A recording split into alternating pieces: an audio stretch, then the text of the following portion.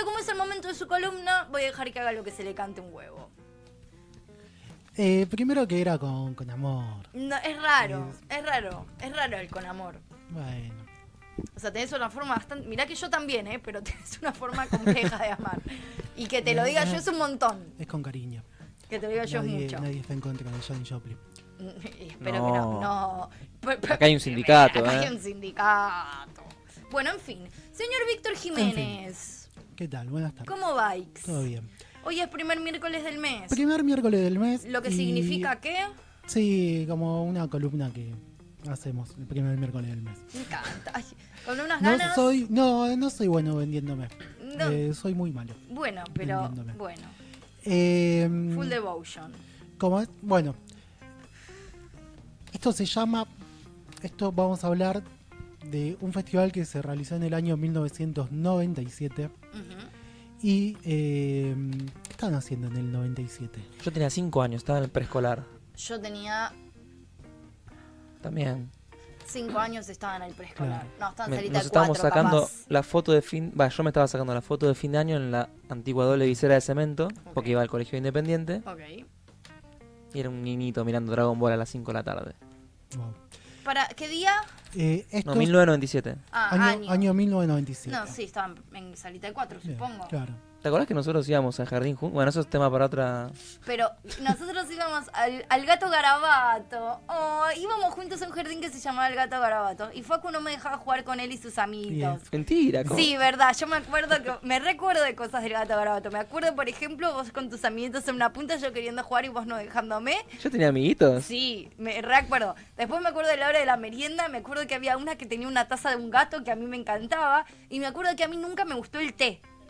Y que te daban el té. Y a mí me ponía re mal porque a mí no me gustaba el té, no me gustaba el agua, o sea, es raro, está ahí una pendeja de mierda igual, ¿no? No me gustaba el té, no me gustaba el agua. Y no había chocolatada, no te daban chocolatada, Claro. ¿entendés? Y O hace sea, ¿quién nene. sos? ¿Quién sos para tomar chocolatada? Y yo me quedaba ahí toda re pobrecita y había una nena que llevaba jugo de naranja, jugo de manzana. Destapé una olla tremenda, ¿eh? Boludo, me acuerdo, me acuerdo mucho, yo hay Perdón, no sabía que te iba a pasar Sí, esto. boludo. Si no Tengo- me preguntaba, ¿eh? tengo un periodo de la infancia muy, muy infante. Pero te recordás, boludo, increíble. Destapé un recuerdo que Sí, boludo. concha de tu hermano. No, boludo, el gato garabato, me acu- sea, de mi vida muy pi- muy chiquita me acuerdo muchas cosas. Después tengo un bloqueo de Un bache. un bache enorme, enorme, enorme, enorme de años y años y años que no tengo ni idea qué pasó. Pero esos primeros años me recuerdo, boludo, no sé por qué. Fenomenal. Me acuerdo mucho. Qué sí. suerte. Bueno, Bueno. en fin, Bueno, éramos chiquititos. Sí, éramos sí. chiquitos, teníamos cinco años. Año 97, Sí. veníamos en Argentina, ahí ya el segundo mandato de ¿Del turco? Eh, ya reelección, ya como que lo- los dólares se habían gastado, mucho desempleo, eh, habían asesinado a cabeza, ¿no? Había pasado un par de, de cosas. Va a estar bueno Buenos Aires. Sí, entre otras cosas, eh, hablando de la música, en el 20 de septiembre se despedía Soda, ¿no? Como el Gracias Totales estaba ahí todavía latente. ¿Qué año, eh? ¿Qué año? Sí, pasaron muchas cosas. Último partido oficial del Diego. El famoso La pelota no se mancha, ¿no? No, no, eso fue No, el- eso fue cuando mucho Ah, eso fue la en despedida. 2001 cuando hizo su despedida. Ah. Esto fue eh, creo que 24 de octubre en cancha de River contra River que perdía Boca 1 a 0, lo termina ganando Boca 2 a 1 y eh, sale el Diego en el entretiempo y entra Riquelme.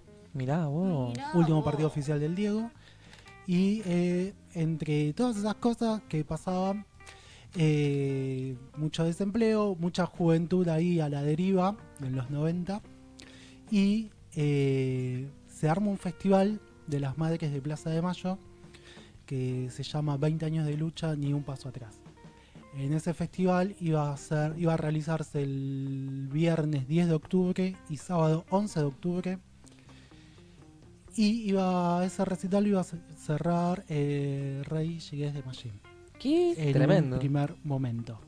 No se puede, no lo puede, se cancela eso, ese cierre. ¿Cómo va a cancelar? Pero tocó Rey No, no tocó, no tocó, no tocó.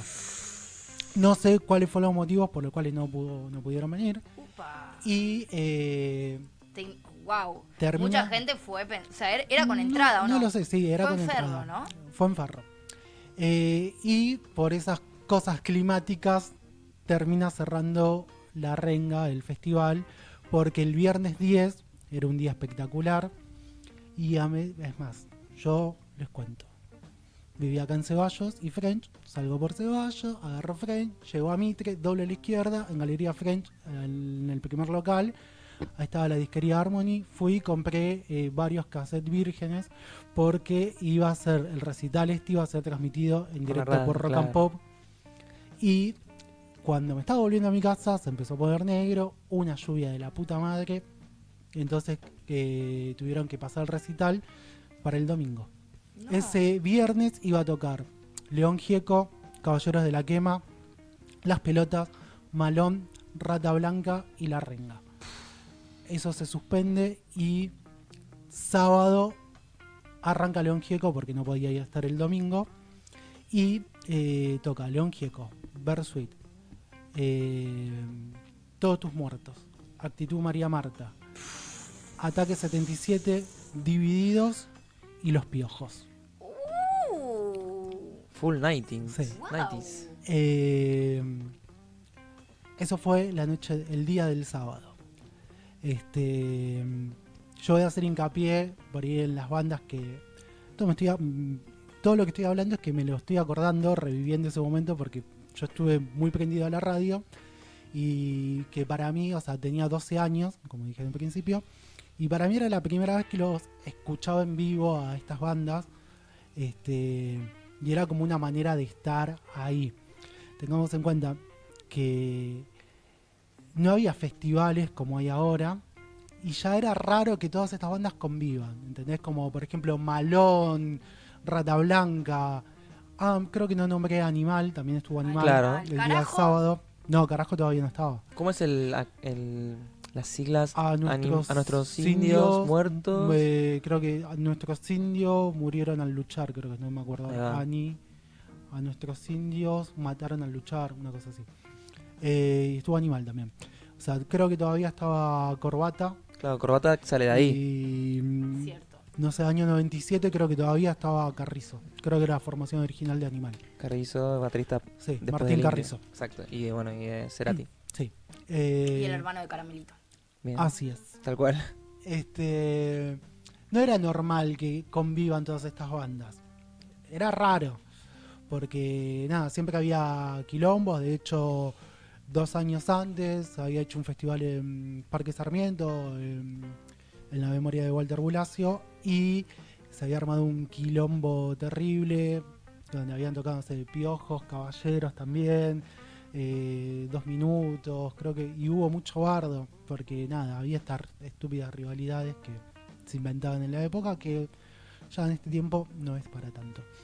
Por suerte. Por lo menos ya no se entiende que, que es música donde creo que a través de, de Cosquín se empezó con esto de los esa todavía era la época en la que esa o era la época en la que los recitales de Divididos se cantaba que se muera Cerati no sí, no solo los de Divididos varios. Sí sí. Es más yo me acuerdo ya 2000, creo uno de los últimos recitales de Caballeros antes de que se separe eh, se estaba cantando eso que se muera Cerati y Noble dijo bueno no si van a cantar que se muera alguien en todo caso que sea Videla y fue la primera vez que yo dije, ah, mira vos. Porque bueno, era como costumbre, ¿no? Pobre Cerati. este, que por suerte, bueno, ya se fue perdiendo eso de entender que es música. Bueno, entonces no era común. Había mucho miedo en esto de tema de los recitales, por eso yo no fui, porque mis viejos no curtían recitales, nada que ver del palo de rock. Era chico, no me dejaban ir. Eh, y mi primo que fue tampoco se animaba a llevarme. Bueno, Este, entonces yo estuve prendido a la radio y el recital lo, lo abre León Gieco haciendo una mención a madres, abuelas y comienza con Solo le pido a Dios eh, diciendo que es un tema que empezó a dedicar a madres, abuelas, a los chicos de Malvinas, bueno, hace toda una referencia.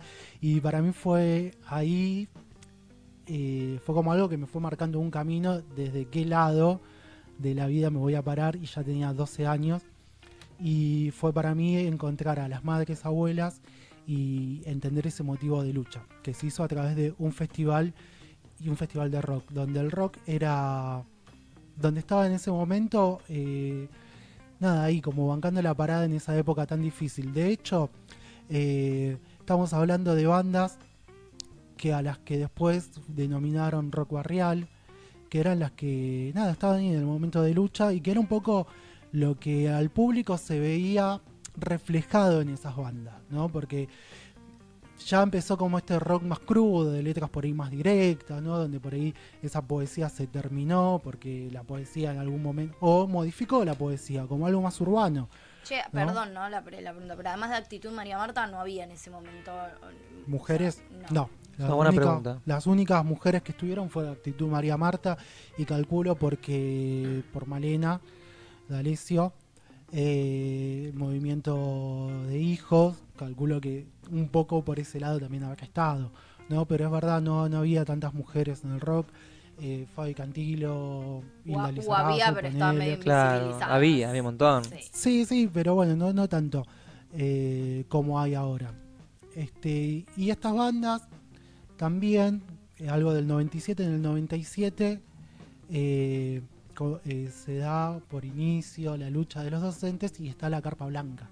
Arranca la carpa blanca, donde también, donde también estas bandas, muchas de estas bandas participaron de, ese festival, de esos ayunos que, hicieron los, docentes. Que también se hizo eh, muchísimo, no sé si ahora se sigue haciendo, pero se hizo muchísimos años a partir de ese momento. Sí, Hasta hace no tantos años se hacía. Sí, sí. La carpa blanca igual estuvo desde el 97 hasta el 99 creo que la levantan cuando asume de la Rúa. Pero después se hicieron como festivales en homenaje a casi eh, todos los años. Sí, sí, sí, puede ser. No, no me acuerdo ahora, pero sí, sí, sí. Bueno, y, un poco es esto, ¿no? Como que estas bandas venían a, representar justamente a todos estos jóvenes que, estaban ahí a la deriva en un momento complicado del, del país. Y, y si bien la renga ya era una banda de renombre, tanto como Divididos, Piojos, todavía no eran bandas que tocaban en estadio. Eh, estamos hablando del año 97, año 96 fue que explota un poco los Piojos con tercer arco, la renga final del 96 saca despedazado por mil partes. Eh, Divididos venía de otra letra balada, ese disco raro que habían sacado en un cambio de baterista. Eh, las pelotas venía de sacar un disco de recopilación en ese mismo año del 97. Que más Caballeros todavía no había explotado con La Paciencia de la Araña, que de hecho todo fue año 98, sale Paciencia de la Araña, el disco de la Estrella de la Renga, Azul de los Piojos, Gol de Mujer de Divididos, hubo como eh, Para qué de las Pelotas, hubo como todo un lanzamiento de, de, discos de estas bandas y donde en el 97 fue el primer recital en estadio que hace la renga, que iba a tocar en Ferro, se suspende y lo termina haciendo en Atlanta. Eh, pero bueno, esto fue como un, también como un trampolín para, para estas bandas. Claro. Este. Y sabes que me olvidé de poner el, videito de, el videito. Ah, la madre. Bueno, porque yo estuve buscando y no había mucho testimonio, no había nada. En ese momento no había tantas camaritas dando vueltas. ¿No, televisaron? ¿Tenés idea? No, hay un videito por ahí dando vueltas, pero es muy malo. Este el que conseguí es una de las madres. Y mm, bueno, yo tenía el recital grabado de, las bandas que, me gustaban. todo en tus cassettes. Sí, este, Bersuit, eh, por ejemplo, invitó a tocar a la banda de Filippi que hicieron Señor Cobranza. Que le robaron el temita. Claro, bueno, Bersuit todavía no, no. Si bien Bersuit había arrancado arriba, después bajó un poco, volvió a crecer eh, todavía no había sacado Libertinaje. Libertinaje sale un año después. Uh, claro. Mirá. Perdón, yo estoy mostrando las bandas que más. ¿Qué tenía? ¿Solo y punto y Don Leopardo? No, tenía, tenía Asquerosa Alegría. claro, los tres. Y punto, Asquerosa, Alegría y Don Leopardo. Después sale Libertinaje. Este. caso. Sí, y bueno, después al año siguiente también, en el 98, saca Ataque como Ataque estuvo ahí como manteniéndose, pero explota un poco también con el CD que saca. No, con otras canciones. Ese CD recopilación de, de varios hits, bueno, desde ahí. Este, yo me acuerdo que eh, esperando cuando escucho que va a haber un discurso a los 12 años, escuchar el discurso de una mujer no era importante para mí. Y cuando lo escucho a Eve de casualidad, claro, porque no tenía ni idea, cuando pongo y escucho a Eve por primera vez, eh, quedé fascinado. Te interpeló, claro. Quedé fascinado. Y año 97, otro dato importante, eh, encuentran los restos del Che en Bolivia. Y esto fue 11 de octubre, o sea, los, se hacía poco se cumplía 30 años del asesinato del Che, del fusilamiento. Y Eve da un discurso y en ese medio de su discurso eh, hace un Padre Nuestro con nombrando al Che. Eh, fue muy emotivo. Acá en esta imagen que se está viendo se puede ver a Moyo, a Iván Noble. Estaba Fito también, ¿no? Dando vueltas. Fito, pero eso me parece que es bajo otro contexto. Ah. Eh, en otra, otra imagen. O capaz que estuvo ahí dando pero sin tocar, vueltas, pero no, tocó. Eh, bueno, y ese sábado hubo muchas zapadas que, por ejemplo, tocaron un tema de León Gieco, El Embudo, que tocó La Renga. Eh, un supergrupo. Sí, subió. Subió La Renga, Chizo, Tete Tanque, Moyo, Iván Noble y no me acuerdo quién más que, cantaron esa canción. Esa canción la grabaron todos ellos, pero en el disco lo graba divididos. Y Iorio, Santolaya y Mercedes Sosa. Eh, Iorio. En, Ojo con los Orozcos, en ese disco Orozco de León Gieco, está grabado ese tema. El embudo, que es un temazo. Yo lo conozco, son ocho los monos. En ese disco. Este, bueno, graban ese tema y acá lo subieron y tocaron por primera vez en vivo. Wow. Y en el cierre de los piojos, perdón, el recital de los piojos fue emotivo. Ciro estaba con una gripe y cantó igual, no se lo quería perder. Y invita a las madres a subir al escenario y cantan muy despacito, junto con las madres arriba del escenario. Súper emotivo. Sí, sí. Y cierra el recital Los Piojos con eh, Pensar en Nada, sube León Gieco, Moyo, eh, Pablo Guerra, Iván Noble de los Caballeros y Chizo a, tocar. Este, entonces como que también era todo ese movimiento arriba de un escenario, no era muy común.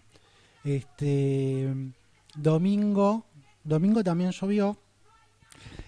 Me acuerdo, muy, me acuerdo, primavera. Sí, me acuerdo que eh, ese día jugó la selección argentina de pasarela, un partido eliminatorio creo que con Paraguay que estuvieron, que arrancaron después del partido, que de hecho pusieron pantallas gigantes, decían que iban a arrancar después del partido. El verdadero así se vivía en los 90, ¿no? Un día normal en los 90. y, arranca Caballero de la Quema, el festival, donde sube a tocar el segundo tema, que es Patri, sube a tocar eh, Pedro Casnar. Eh, tocan No Chamullet, sube a tocar Moyo, como era muy esto de intercambio de subir músicos. Y, eh, hay una frase que, va, perdón, Iván Noble invita a Ton Lupo en un momento. Habla Ton Lupo, dice unas palabras. Este, sí, un beso al cielo a Ton Lupo. Y este, dice como un poema, hizo todas unas palabras, pero lo que yo me acuerdo es que a un nene le dice, madre, quisiera ser mago. Y la madre le dice, ¿para qué quieres ser mago, hijo? Para sacar la blanca paloma de tu galera. No, madre, para eh, resucitar a los desaparecidos. este, hubo otro discurso de Eve en el medio del domingo, que ahí yo lo grabé. A ver si se escucha algo. No puede disfrutar de nada. Hoy aquí todos estamos festejando los 20 años de lucha de las madres. La voz, ¿viste? Tremendo. Bueno, lo que ella decía era festejar los 20 años. Eh, que era un momento de lucha y que era a través de festejar. Ella habla haciendo un festival de rock que era la música que escuchaban, dice, la música que escuchaban nuestros hijos. Era como una manera de conmemorarlo a través de un festival y a través de la lucha. Eh, Festejar para sobrevivir. Claro, y ella Bien puesta. habla ahí sobre que el gobierno, que venían las elecciones, dice que las madres no vamos a votar, no vamos a votar porque no hay un gobierno que nos represente. Uh. Eh, Anarquistas, por... por el turco. Pero estaba ahí. o sea, no había un gobierno que nos represente, decía. Y ahí hay algo que, ella decía como eh, que hay que tomar la sartén por el mango y eso están ustedes chicos, decía. Eh, en inventar este hombre nuevo con el que soñaban nuestros hijos, con el que soñaba el Che, lo vuelvo a mencionar. Y muy poco Este, tiempo después aparece Néstor. Claro, sí, eh, sí, Seis. seis años después aparece Néstor, que de hecho ella no le cree, lo dice y nada, vuelve, confía en él y ya sabemos lo que pasa. Este, Tengo que bancar a de la Rúa primero. En el Sí. medio. sí, sí, sí. Eh, bueno, entonces esto fue como el motivo de lucha y, eh, y en ese momento, en el discurso de Eve, se mencionaba a Bulacio, ¿no? Como el famoso canto de Yo sabía, Bulacio lo mató la policía. Eh, Matar un rati para vengar a Walter. claro. En Eh, esa época, pregunta medio descocada, o sea, como desconectada vez, pero en esa época ya, ya estaba Correpi, ¿no? Claro, Y Correpi estaba también como sea, metido en estas cosas, o participaban, ¿sabes? sí. Eh, va, en este Sí, festival no, no lo sé, justo hoy estaba viendo algo que hacen una mención del 97 sobre que varios casos que, que hubo de, de gatillo fácil. Eh, cuando toca la renga, también invitan a las madres a subir y hacen mención de un caso que había pasado de Sebastián Bordón, que era un pibe eh, que se fue de viaje, creo, de egresado a Mendoza y lo desapareció la, la policía de Mendoza. Algo muy similar a lo que pasó con Maldonado, eh, que lo desaparecieron, no se sabía nada, eh, hubo como falsos rastros, muy similar también. Como Facundo Castro Estudillo también, También, más digo, sí. todavía. Sí, eh, más o menos el mismo modo. No, no modifican mucho.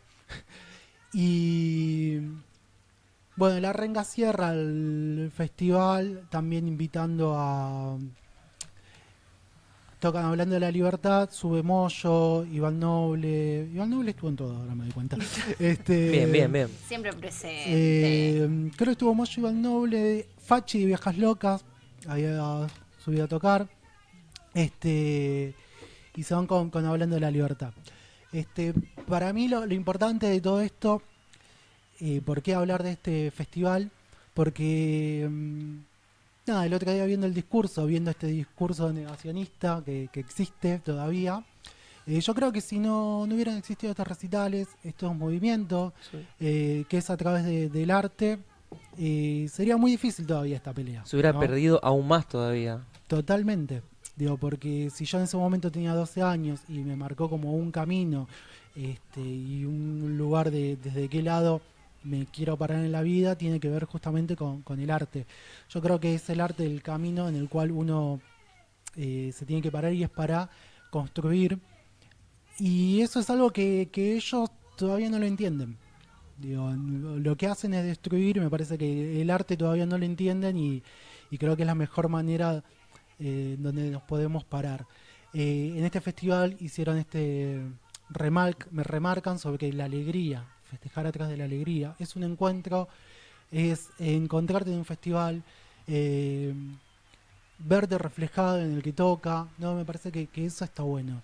Y mm, bueno, la semana que viene van a ser 26 años de esto. El miércoles que viene es 11, o sea que pasaron vein- van, a pasar, van a ser 26 años de esto Tremendo. me parece que está bueno como recordarlo y nada es una manera también como de, de trabajar la, la memoria Espectacular, ¿eh? Sí, boludo. Muy me- buena reflexión. me- sí, me dejó pensando mucho también en como las distintas épocas y los artistas, ¿no? En su posicionamiento también político, como también en ese momento, o sea, celebrando, ¿no? Que en ese momento er- se posicionaban políticamente y, co- y cómo era mucho más difícil en términos de contexto en algún punto, digo, como la situación era mucho más compleja para que uno pueda públicamente expresarse y sobre todo en este tipo de cosas tan concretas, pero a la vez uno directamente sabía que, que el público que accedía a uno tenía mucho más que ver ideológicamente con uno en algún punto, entonces también había como cierta apertura a expresarse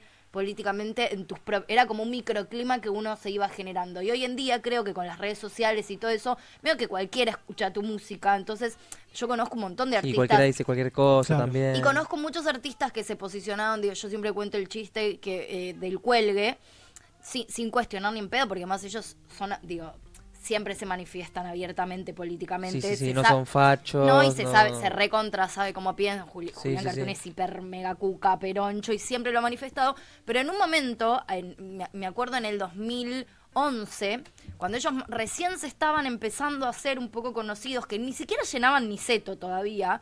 Me acuerdo que era la plena época de la segunda votación a Cristina y ellos literalmente hacían, por ejemplo, Julián Cartón hacía perfos eh, bardeando a Majul, pero abiertísima, era graciosísimo. Y un día incluso salieron con la boleta de Cristina. Después se volvieron muy, mucho más mainstream porque también empezó Cualca y más allá de que también Cualca era mucho más masivo, había gente muy joven que los iba a ver y nunca, pero nunca más tiraron nada político y yo una vez tuiteé tipo en joda eh, cómo extraño la época en la que el cuelgue tipo se manifestaba políticamente, ahora que los va a ver un montón de gente son unos caretas, y me respondió Julián Cartoon y me dijo, eh, es que eh, es que los hippies kirchneristas no pagan la entrada en tipo en tal lugar. Y es como, bueno, y un poco en algún momento sí, y como después también esa masividad. Y hoy, y hoy vos los ves, y las bandas, muchas, no sé, y, y sobre todo cuando están avanzando, les cuesta posicionarse político. Yo no digo política partidaria, pero digo, hay no, dar una posición hay, abierta. como un miedo y, hay una y hay como una rediscusión también incluso a me posiciono no me posiciono, si lo digo, si no lo digo, incluso en las últimas elecciones era fue como medio una guerra de los que se manifestaron, los que no se manifestaron, quién dice algo, quién no dice algo. Si decís algo, no es ahora como, bueno, te lo dicen en un medio de comunicación o te putean o lo decís en un festival con gente que piensa como vos. Te tenés que fumar. Hoy en día tenés como la lupa encima y cada cosa que y vos todas digas. las esas de las redes que son un microclima, pero son el microclima en el que vive esta gente en algún punto también. Entonces, ¿cómo viste cómo eso también se volvió y hoy no pasan estas cosas. ¿Hace cuántos años no? Digo, desde el Kirchner, desde el último mandato de Cristina, que no están los festivales supermasivos de esa celebración de esos espacios donde tocaban, que también igual eran los mismos artistas de siempre, ¿no? Hay que decirlo. Por ejemplo, eh, La Renga fue, esto fue creo que el primer festival donde estuvo, no, no tocó más en festivales. Eh, en unas declaraciones que hicieron ellos, eh, que siempre que se especuló con que toquen en Cosquín Rock, ellos decían que para tocar en un festival tiene que haber una causa y no un sponsor. Y la vez que tocaron en Plaza de Mayo, eh, sorpresa, no, sorpresa, pero se venía diciendo hace cuatro días que iban a tocar. Ellos eh, lo que declaran es justamente son 30 años de democracia en ese momento, más esta cosa que no le dejaban tocar en Capital. Entonces, como, bueno, ¿cómo no festejar la, la democracia? Que, y esto de celebrando de que había gente en ese momento vinculada, pibes y pibas vinculada en lo, en lo político, ¿no? Que, también se fue perdiendo un poco. Se perdió muchísimo. Pero se, había perdido en los 90, se recuperó un poco y se volvió a perder y por eso me parece que es como el momento de, seguir luchando, que si, que si estas cosas no hubieran pasado, creo que estaríamos mucho peor. Claro, tal cual. Y bueno, y cuando termina, hay algo que me acordé, No vine a pensar. Hay algo que me acordé ahora, que también es fuerte pensarlo así. Cuando está terminando el recital Caballeros de la Quema, eh, Iván Noble grita, un estadio así, 30.000 personas como hoy, todas desaparecieron por estos hijos de puta. Justo un estadio medio que es... Un estadio entero. Es esa medida. Eh, y esa gente camina por la misma calle que ustedes, tengan cuidado, tengan memoria que en ese tiempo todavía no estaban siendo juzgados. Claro, y había, después, estaban vivos encima. Sí, estaban vivos, estaban libres. Ya les había dado Menem igual la, el, indulto, ya tenían el indulto, digo, entonces la lucha eh, era, era fuerte en ese momento. Recién habían aparecido hijos también, que ya empezaban a reclamar.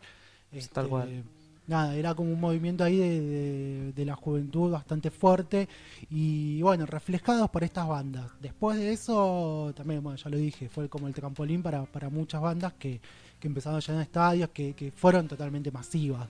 En ese momento no, no eran tan masivas, pero nada, eh, pusieron. Después salió un CD de esto que se vendía como en página 12, salía en página 12 ah. y... Eh, hay un tema de cada banda y eh, tres dos canciones de Bono y un poema leído por Bono eh, en español. Siempre Bono. Eh, Yo di YouTube, pero. Bueno. Pero banco. eso fue el año 1997. Espectacular, ¿eh? Columnón, Vic, me encantó. Me encantó saber de este festival. Me yo particularmente no estaba muy en tema de lo que ha pasado, éramos chicos, pero. No. No, tampoco está tan bien. Yo también era chico. de verdad, sí. Sí, pero nosotros teníamos cinco. Éramos babies directamente. Yo igual, ¿sabes qué pasa? Siento, bueno, justo a este festival así, no sé, Pero a mí mi vieja me re llevaba estas cosas cuando yo era chiquitita. Y me, Lo has dicho. Me da mucha bronca no tenerla para preguntarle a cuáles fui, a cuáles no también. Como que siento que capaz tranquilamente pude haber ido. bien pedo me acuerdo. Pero me recuerdo de festivales de ese estilo que ni sabía bien que estaba viendo. Sí me acuerdo mucho de de León Gieco, de verlo a León Gieco siendo muy chiquita, en festivales donde tocaban un montón de artistas. Yo siento que si hubiese visto a Actitud María Marta, me acordaría. tipo de León Gieco y de Baglietto me acuerdo. Actitud María Marta estoy segura que me acordaría, así que me da la sensación de que no fui. Pero la verdad no tengo cómo chequear si fui o no fui. Pero bueno, me encantó. Gracias, Vic. Gracias, Vic. Después descubrí, pero son malísimos los sonidos porque es todo de rock and pop, que se subieron que, se subieron a. Está en YouTube, hoy, hoy lo vi. lo, busqué, lo busqué por muchos lados, nunca lo había encontrado, una vez que perdí los cassettes. Y eh, están subidos, pero por ejemplo dice Caballero de la Quema en Ferro 97, Los Piojos Ferro 97. Pero no está unificado como Como este festival, sí, está por ejemplo el de La Renga está, Versuit está y Todos tus muertos está, así como 20 años de lucha. Eh, se puede encontrar. No tiene buen sonido, pero bueno. Por eso la idea era cerrar con Hablando de la Libertad, que fue el último tema que, se tocó en ese festival, pero el sonido era malo, así que vamos con el despedazado por mil partes.